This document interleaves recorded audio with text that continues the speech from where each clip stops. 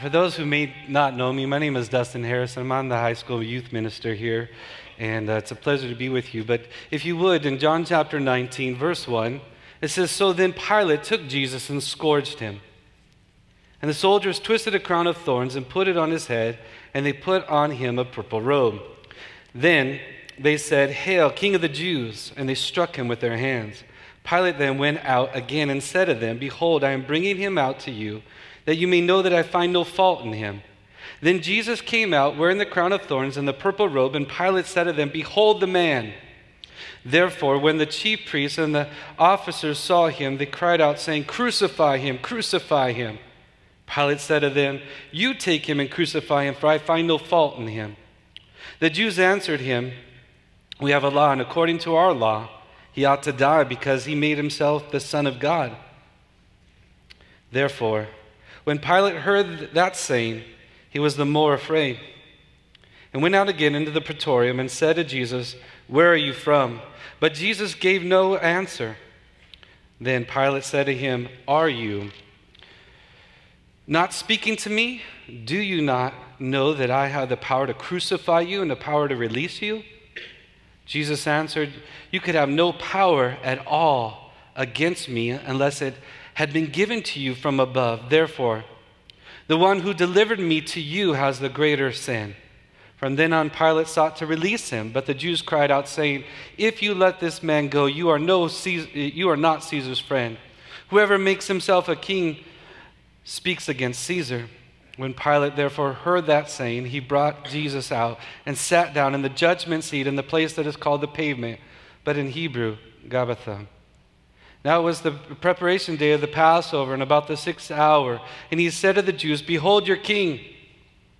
But they cried out, Away with him, away with him, crucify him. Pilate said to them, Shall I crucify your king? The chief priests answered, We have no king but Caesar. And he delivered him to them to be cru- crucified. So they took Jesus and led him away. Right before that, when Jesus and Pilate had been talking, Pilate had asked Jesus, Who are you? And what have you done that they would bring you to me? Are you a king then? It said in verse 37 of chapter 18. You said rightly that I'm a king. For this cause I was born, and for this cause I've come into the world to bear witness of the truth. Pilate said to him in verse 38, What is truth? When he had said this, he went out again to the Jews and said, I find no fault in him. And it's interesting because still today, that question is so relevant, isn't it? What is truth? What is truth? What is reality? What is in touch with reality? What is really real? And so we get into chapter 19, and it says Pilate took Jesus and scourged him. It's amazing that Pilate, this official, finds no fault in Jesus, but still scourged him for the sake of the crowd for the sake of the multitude, thinking maybe, just maybe, I can get away with this. I don't find any fault in him, but just maybe, maybe this would suffice the crowd. The charges against him, he was accused of an insurrection. He was accused of claiming to be a king. He was accused of being uh, not a friend of Caesar's. Matthew 27 18 reveals Pilate knew that Jesus was handed over because of envy. As all this was taking place and they gathered together, the religious leaders were stirring up the people. And as they were stirring up the people, the Bible says in Mark chapter 15, verse 12 through 13, What then do you want me to do with him, whom you call King of the Jews? They cried out and they continue to cry out, Crucify him, release to us Barabbas. We see that here in verse 39. Release to us Barabbas. We don't want Jesus. And so, again, as their custom, and as they had gone out, all this taking place, he says, Listen, this is what I have for you. I have so much more. But they scourged him. And as they scourged him, this was taking place. It was amazing to see what took place. It was amazing that for nothing, for nothing. And so, again, previously, Pilate said, I find no fault in him. Why then? Why? What evil has he done? He said in Luke chapter 23, verse 22 through 23. Why? What evil has he done? Have I found no reason for death in him? I will therefore chase, uh, chastise him and let him go. But they were insistent, demanding with a loud voice that he be crucified. And so we get into this passage in verse 1. It says that he was scourged. Scourging was a Roman form of punishment inflicted before the crucifixion. Their purpose was not only to cause great pain, but also to humiliate a person. The scourging was to torture the prisoner into a confession of his crimes. The idea was that a prisoner confessed to his various crimes. The guard that was inflicted, the, the, the stripes across the person's back, would ease off with every confession. The victim of a scourging was bound to a post or a frame, stripped of his clothing, and beaten with the uh, flagellum, this whip.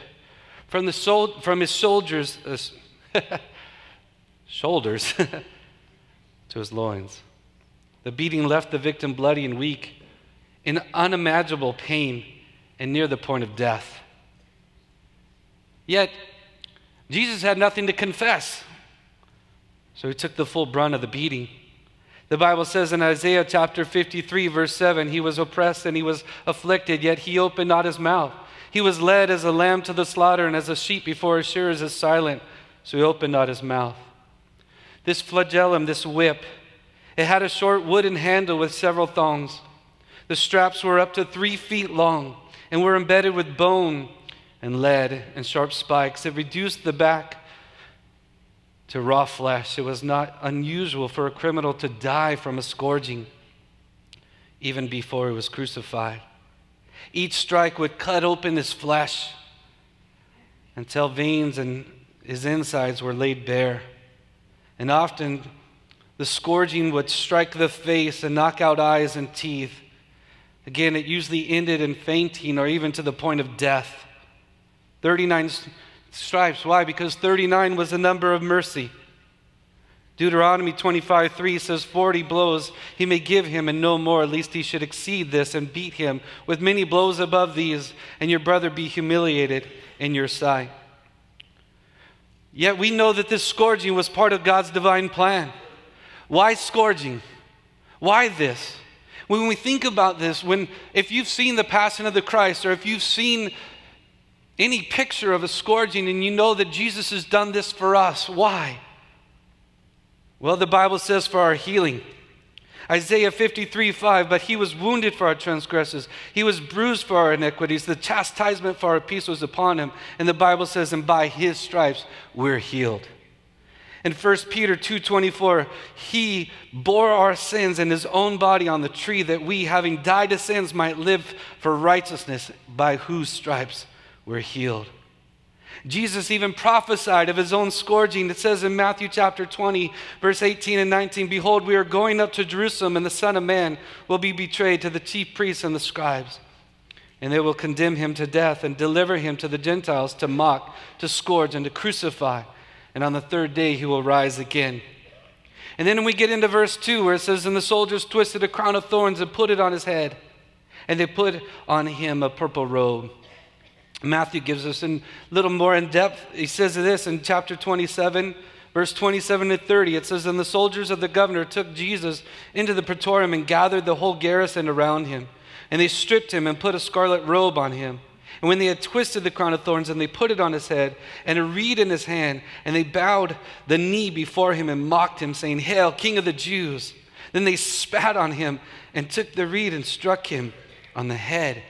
It's so hard not to get emotional just reading this because Jesus did this for you and I. Everything about this was intended to humiliate Jesus. See, the Jews, the Jewish rulers had already mocked Jesus, and now the Romans were too. Notice first, this garrison, this, these uh, hundreds of soldiers were being entertained by the mocking and the beating of Jesus. He had already been brutally treated by the people around the high priest, and now he's being scourged by Pilate. And if that wasn't enough, he'd given the soldiers to, over uh, to the soldiers to be humiliated. Yet the Bible says this in Hebrews chapter 12, verse 2 looking unto Jesus, the author and the finisher of our faith, who for the joy that was set before us endured the cross. Excuse me, set before him, he endured the cross. And it says this despising the shame. Despising the shame, he went to the cross for us and has sat down at the right hand of the throne of God. The second thing it says they stripped him and put a scarlet robe or a purple robe mocking him as, in his kingship. Kings and rulers are often, they wore purple because the dyes and the fabrics were expensive. The purple robe was intended as a cruel irony. Our sins were placed on Jesus in order that we might be clothed with the robe of God's righteousness. There they twisted a crown of thorns and set it on his head, the crown, to mimic Caesar's wreath. Jesus being called a king, kings wear crowns, but not crowns of torture. In the Garden of Eden, when man first sinned against the commandments of God, when God cursed the earth, he said this in Genesis 3, verse 17 and 18. It says, Curse of the ground for your sake, and sorrow you shall eat of it, and all the days of your life, the thorns also, and the thistles shall bring forth unto you. See, these thorns are symbols. They're symbols of curse uh, of the sin that was brought about mankind. And yet, Jesus paid the price for our redemption. Jesus was bearing the curse of our sins so we may bear a crown of glory. We're reminded Jesus came as a suffering servant and a conquering king. As we look at this, here Jesus is ready to take the curse of sin for us. And he's wearing the crown of thorns that are just evidence of the curse of sin. The fourth thing, the fourth thing, they say, Hail, King of the Jews. See, kings are normally greeted with royalty. Yet, in spite, they mocked Jesus, they spat on him, they humiliated him. Basically, saying, This is the best you got, this is the best king you Jews can come up with. And fifth, they spit on him and took the staff and struck him on the head repeatedly. In Matthew, again, it says they bowed their knee, mocking, spitting on, making fun of Jesus, our Savior, our Lord. Hail, King of the Jews! And they struck him. Verse 4 Pilate then went out again and said, Behold, I bring him out to you, that you may know that I find no fault in him. Can you, be, can you imagine being Pilate? Seeing Jesus right now, absolutely just physically demolished, made fun of, mocked. And he had already said, and now for the second time, is saying, I find no fault in him. And he brings them out of the praetorium, out in front of the Jews. He says, verse 4, that I might say to you, I find no fault in him. As a judge, Pilate had been reason and responsibility to set Jesus free with no punishment instead of the humiliation and the brutality that he endured. By Pilate's own words of saying, I find no fault in him, he condemned himself by his words. He found no fault in Christ, and yet he would not let him go. In verse 5, it says this Then Jesus came out. Can you imagine Jesus being brought out in front of the people? Bloody, crown of thorns, this robe mocking him. just inscru- in, in, amazing, amazing pain. Isaiah says this of that Behold, my servant shall deal prudently. He shall be exalted and extolled and very high. Just as many were astonished at him, so his visage was marred, more than any man, and his form more than the sons of men. So, in other words, his physical appearance was disfigured. Literally, it's saying that Jesus' body was disfigured because of the beating. And he's being brought out in front of the people and say, Here's your king. I find no fault in him. In Isaiah chapter 50, verse 6, it says, I gave my back to those who struck me and my cheeks to those who plucked out my, the beard. I did not hide my face from shame and spitting. It's amazing that though Jesus was brought so very low, everybody in the world was amazed that he was so exalted. And yet at the same time, we get into verse 6 and it says, When the chief priests and the officers saw him, they cried out, saying, Crucify him, crucify him. Pilate says, You take him and crucify him, for I cannot find no fault in him. The Jews answered him and saying, Have I, uh, we have a law, and according to our law, he ought to die because he made himself the Son of God. We see the truth now in these people. They had brought him to Pilate and the charges that they had declared himself to be in opposition of Caesar. But when that failed, when there was no proof of this, no evidence of this, that he was a threat to Caesar's government, the truth came out. He's a threat to us. He's a threat to us because he's blaspheming, he's claiming to be equal with God. And they're declaring he's not our king. It's blasphemous.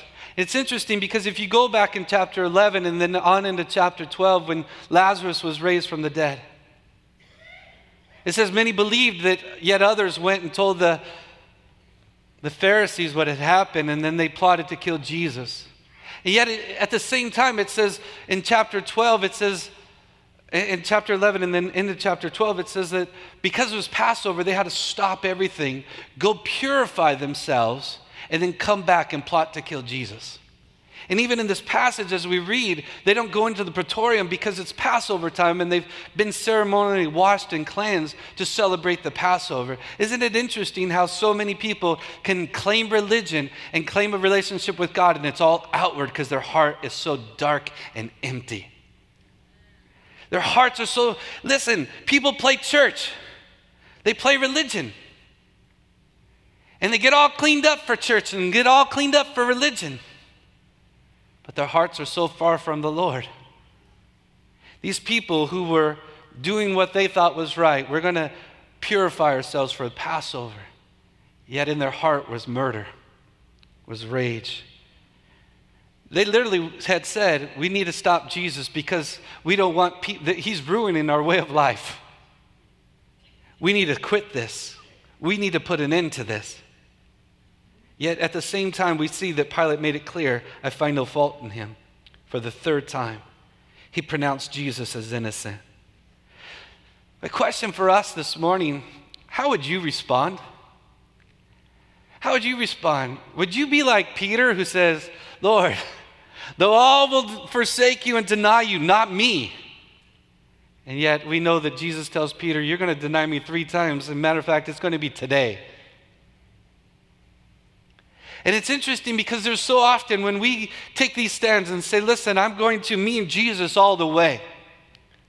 Well, according to this, the entire crowd, the Jewish leaders, the religious leaders, the garrison of soldiers, everybody's against Jesus. So you alone will stand. Well, I don't know about you. I'd like to think I would. Yet there's a side of me that thinks I would cave too. Can you imagine Pilate, all the pressure? I don't find any fault in Jesus, and yet everybody's against me because I believe that he is who he says he is and the pressure's on. Pilate knew he couldn't reason with the crowd. And so in verse 8, therefore, when Pilate heard the saying, he was more afraid. What do I do with this? What do I do with Jesus, the man that I believe is innocent, but everybody is telling me to crucify him? Everybody, the entire crowd, hundreds of people are against Jesus, and if I'm for Jesus, they're going to be against me. What do I do? And he was afraid. And so Pilate and Jesus, they go back into the praetorium. Where are you from? And Jesus gave him no answer. Pilate said to him, Do you not know that I have power to crucify you? Why aren't you talking? Why are you not giving me more reasons to believe you? Listen, he's already said three times he believes him. Why are you not giving me more reasons to believe you? What, I, I really believe it doesn't tell us why Jesus held his mouth quiet, but I really believe it's because he's like, it's time, number one. And number two is, you believe. There's nothing that you can tell that crowd that's going to make them believe. And it's time. It's time for the Lord to do what he came to do. But notice in verse 11, he tells him, he says, Listen, the power that you have, you wouldn't have this power if it wasn't given to you. You're not taking my life. I'm giving my life. I'm giving my life for the people. And this is the powerful thing because when we read this story and we see how horrific the events were that he went through, I open with the fact that it says in Romans that God demonstrated his love for us. That while you and I rejected him, he chose to give his life for you, that one day you would have an opportunity to choose him and to choose life and to choose hope. The Bible likens hope, it says it's an anchor for our soul. This is for us. So he says, You could have no power unless it's been given to you. Verse 12 From then on, Pilate sought to release him. But the Jews cried out, If you let this man go, you are not Caesar's friend. Whoever makes himself a, a king speaks against Caesar. Isn't that it? It's still the wrestle today, right? Can I be a friend of the world and a friend of Jesus? Can I have both, please? That's what people want. Oh, I'm a Christian and I'm, you know, but I'm not very religious and I don't go to church all the time and whatever, but I believe in God. And the Lord says, You're either for me or you're against me. He says, I gave my life for you. And on the cross, He said, It's finished. I believe that was a start for us. So that we might say for us today, that we would say one day, as Paul had said, at the end of our lives, Lord, I fought the good fight. I finished my race that you gave me. And as we look at this passage, as we read this passage over, says Pilate then, verse 13, he brought Jesus out, sat at the judgment seat. Verse 14, it was the sixth hour, and he said to the Jews, Behold your king. Behold your king. Now, many of you probably have seen The Passion of the Christ, and it's very, it's, it's a movie. And it seems like when it gets bloody and gross, and oftentimes, you know, for us, I remember when it came out here at the church, we rented out the movie theater, and many of us went to go see it. And sometimes you think, I don't want to watch that because it's too gory. I don't think it actually gives the picture of what it actually was wasn't as clean as the movies, it wasn't as structured as the movie. I believe it was worse. Because it wasn't movie theater makeup. It was literally Jesus' flesh being ripped and torn open for us. Can you imagine standing there saying you believe? And yet seeing such a brokenness. And Jesus standing there, the pain he endured, and he stood there, and he didn't quit, and he didn't give up. He didn't stop. He didn't say, enough's enough, it hurts. All right, I'll quit. It's been too much, it's been too hard. No. After the, he was led away, he went to the cross. That's why Friday is good. Because he didn't give up for you, he wouldn't quit for you, for me. And we're so thankful. And as we look at this passage and as we apply this to our lives, Jesus, the sacrificial lamb, he opened not his mouth, was led as a lamb to the slaughter. The crowd rejected him and would rather have a revolutionary in Barabbas than a king in Jesus. And we see that today. People would rather have anything but Jesus. Don't put your religion on me. Don't put your faith on me. Don't put your expectations on me. Leave me alone. I want my life and I want to live it the way I want to live it. The sad part about that is